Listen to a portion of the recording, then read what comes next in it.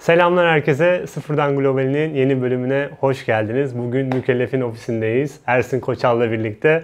Ee, Ersin Koçal, e, Mükellef'in Amerika ülke müdürü. Öncelikle hoş geldin Demet. Hoş bulduk. Aynen. Normalde biz bu, bu şekilde ofislere gitmiyorduk. Sizinle daha önceki yayında Ardış'la yaptığımız yayında da ben ofise ziyarete gelmiştim.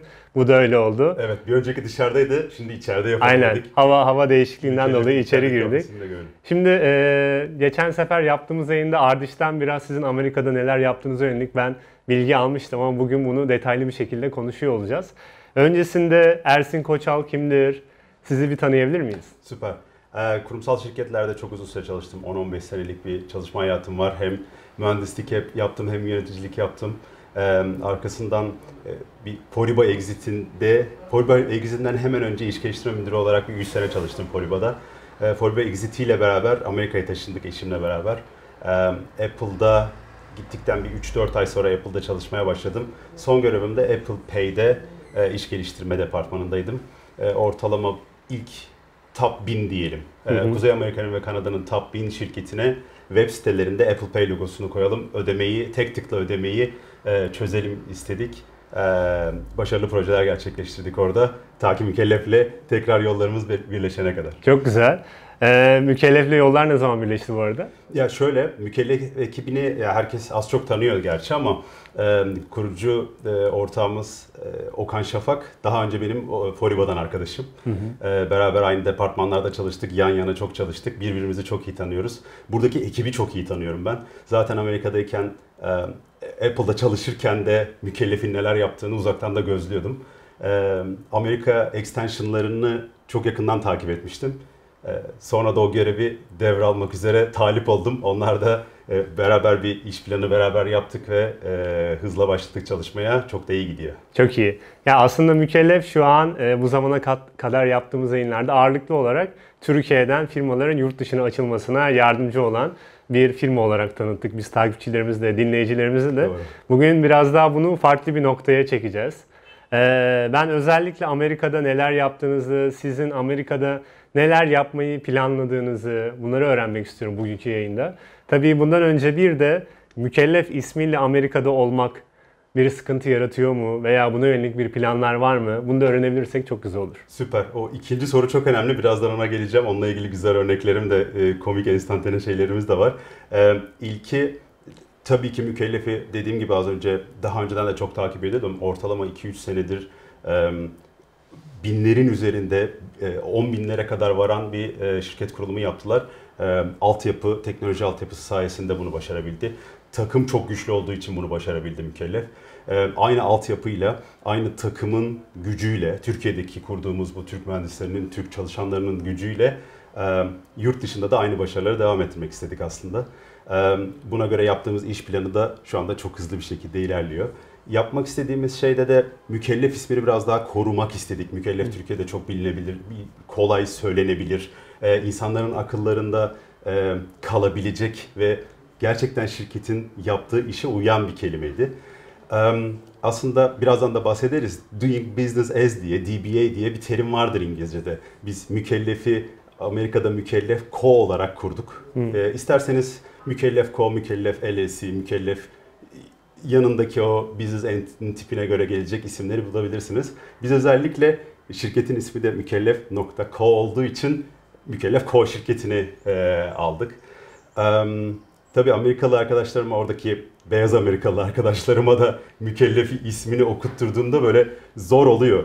Biraz daha e, onlar için o ü'leri, l'leri, f'leri söylemeleri biraz zor oluyor. Böyle mukellaf gibi söylüyorlar ama biz ismi çok seviyoruz. Onlar da alışıyorlar.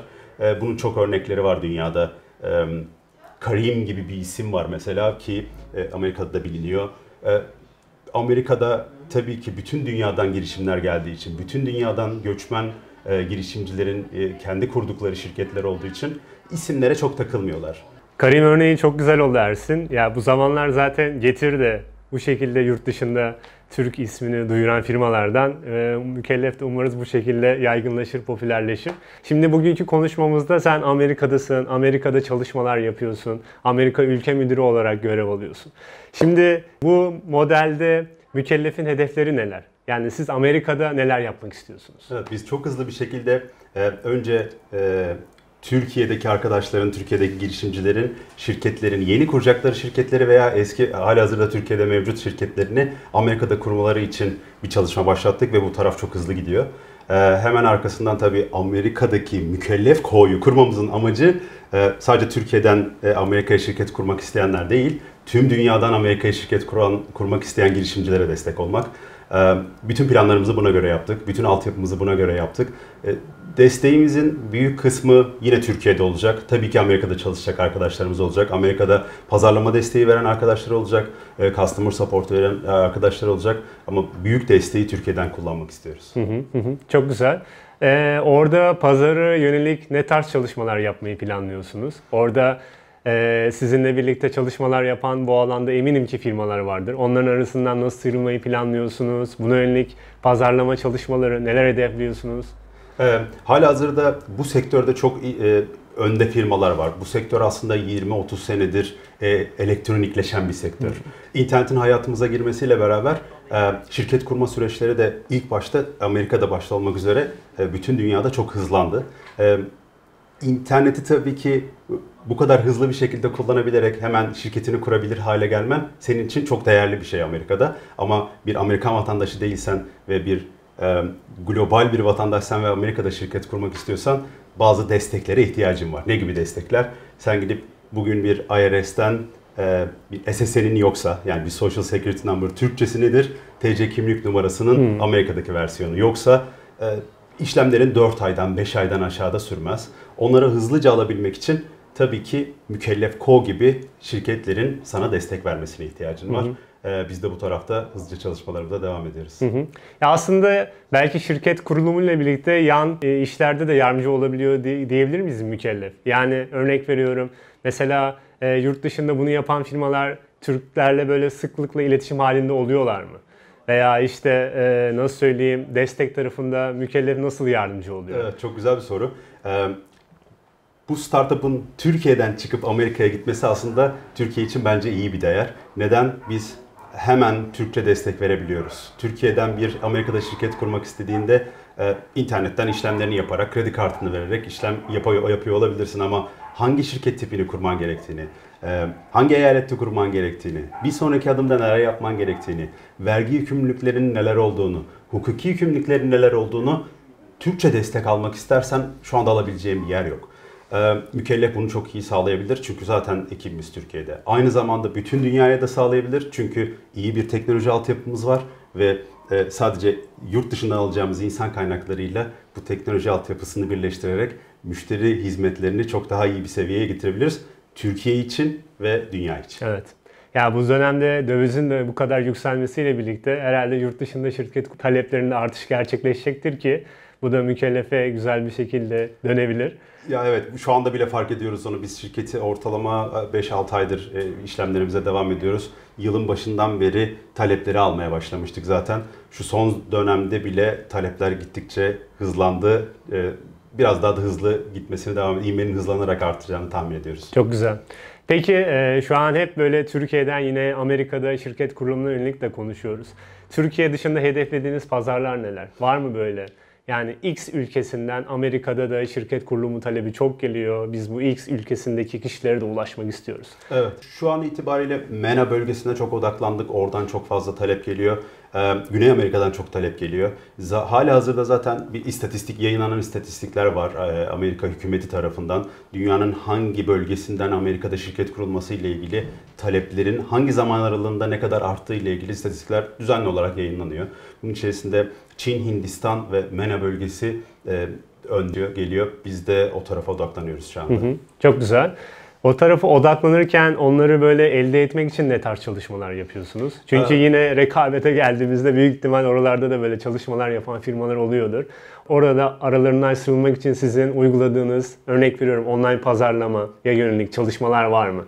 Dersiniz ki işte biz Arapça içerikler üretmeye başladık. Mesela bu tarz çalışmalar başladı mı? Tam da doğru yerde doğru zamanda doğru şey söyledin. Ee, biz Google AdWords'ten Facebook e, reklamlarına, Instagram reklamlarına kadar şu anda zaten destekle e, marketing departmanımızın desteğiyle bu tarafı büyütüyoruz. E, ama en büyük isteğimiz tabii e, her ülkede odaklandığımız her ülkede ülkenin diliyle e, reklam verebilmek. Bunun için iyi bir bütçemiz var e, ve bu bütçeyi doğru yerlerde doğru zamanda harcamayı planlıyoruz ve e, etkilerini de görüyoruz zaten şu anda. Çok güzel. Oralarda da tabii mükellef ismiyle beraber reklam veriyorsunuz değil mi? Aynen öyle. Yani MENA bölgesinde mükellef ismi daha hoş geliyor. Bazı bölgelerde mukellef kullanıyoruz, uğulu kullanıyoruz onu. Ee, evet, bölgeye göre isim markalama, kullanma, konumlandırma çok daha önemli. Bunlara dikkat ederek hareket ediyoruz. Hı hı. Çok güzel. Ee, peki böyle yakın zamanda hedeflediğiniz, işte bu bahsettiğiniz bölgeler dışında sizin yapmak istediğiniz çalışmalar var mı? Yani böyle pipeline'ınızda olan, şunu keşke tamamlayabilsek dediğiniz çalışmalara böyle örnek vermeniz gerekirse neler söyleyebilirsiniz? Ee, ya şöyle iddialı bir şey olacak ama keşke tamamlayabileceğiz, bilelim dediklerimize şu anda ulaşıyoruz. Çok güzel. Ee, yılın sonunda ulaşalım dediklerimize şimdi ulaşıyoruz. Ben e, yurt dışındaki e, New York'ta ve Boston'daki iş ortaklarımızla konuşurken e, hep aynı şeyi söylüyoruz. Bir planlama yaparsın Amerika'da. O planlama doğru zamanda doğru planlamayı doğru ekiple yaptıysan eğer gerçekten bir hızla değil bir buçuk iki hızla gittiği oluyor. E, zannedersem doğru planlamayı doğru zamanda yaptık, doğru ekiple yaptık ve bu yılı o bir buçuk hızlarla tamamlıyoruz. E, önümüzdeki senede öyle olacağını tahmin ediyoruz. E, o yüzden girişimcileri Amerika'ya davet ediyoruz ki evet Türkiye'de iş yapmak çok güzel. 80-85 milyonluk bir sektörde hı hı. iş yapmak çok güzel ama aynı hızınızı 300-380 milyon e, popülasyonun olduğu bir yere taşımak e, scalability'yi arttırabilmek için en önemli etkenlerden bir tanesi. Çok güzel. Çok güzel. Aynen.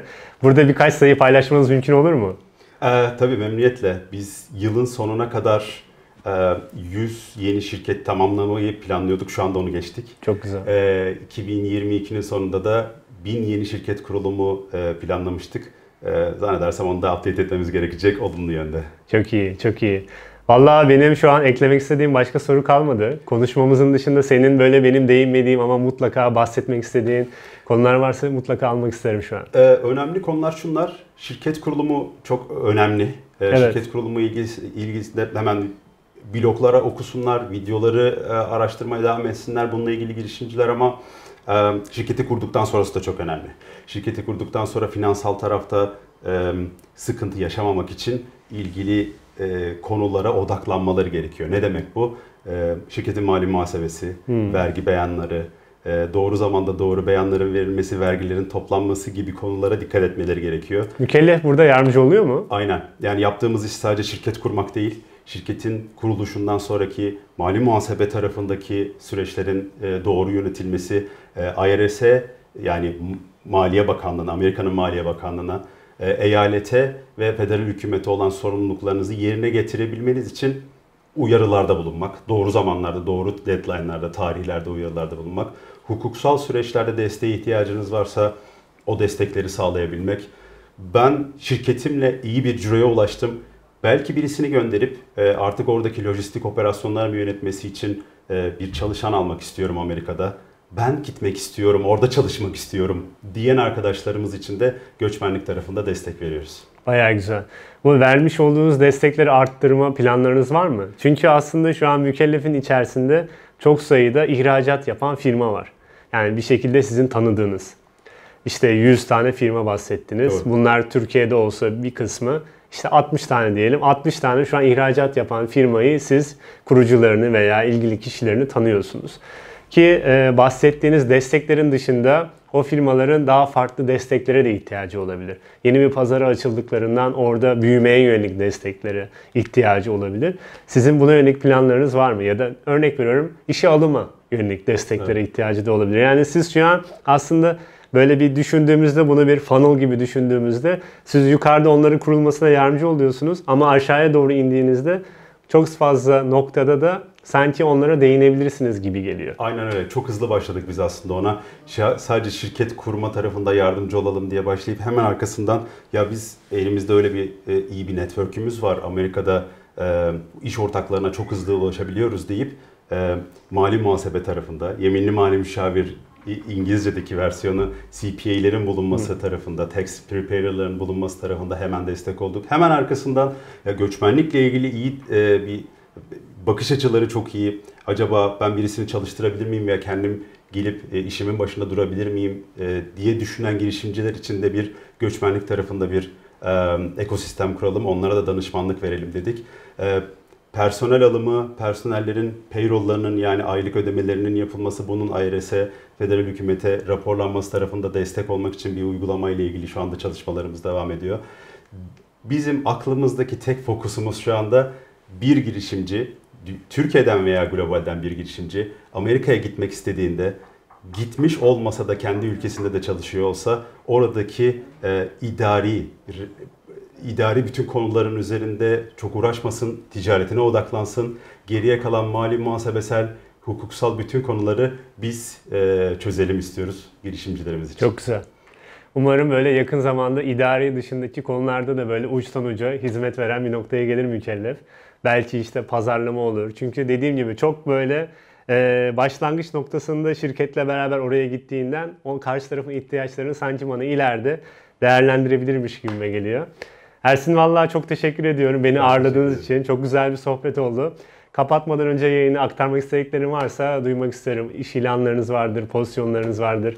Ee, girişimcilerimize Amerika ile ilgili akıllarına gelen tüm sorularda Mükellef Ko'ya girip hemen üye olup bir randevu oluşturmaya davet ediyorum. Eğer akıllarında çok küçük bir soru varsa ben şirketimi nerede kurmalıyım? Şöyle bir ticaret yapıyorum bunu Amerika'da.